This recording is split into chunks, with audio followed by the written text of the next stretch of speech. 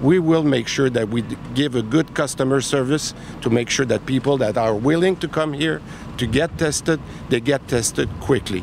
This is our first day on this site, right? And uh, we will double our capacity in terms of testing over the next few days. First, we were testing at the level up to 15, 16,000 at the peak of the, of the pandemic, right?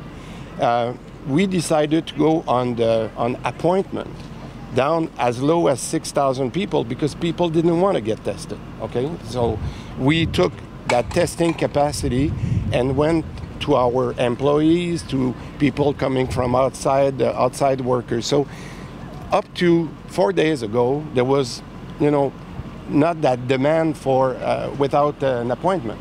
The question of bars happened like that.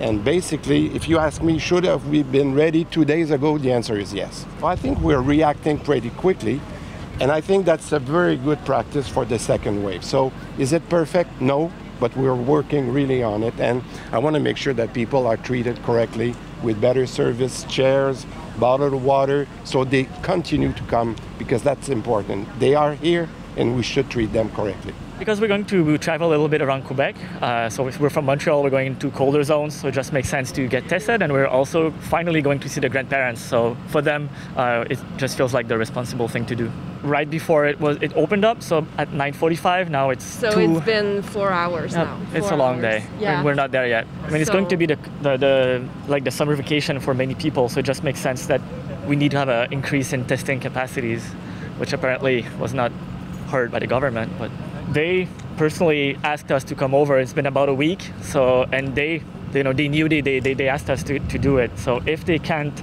uh, manage to um, increase the testing capacities upon their own calling, what is going to be if there's uh, an unexpected turn of event. I mean, will they be able to uh, take care of us? I'm not sure.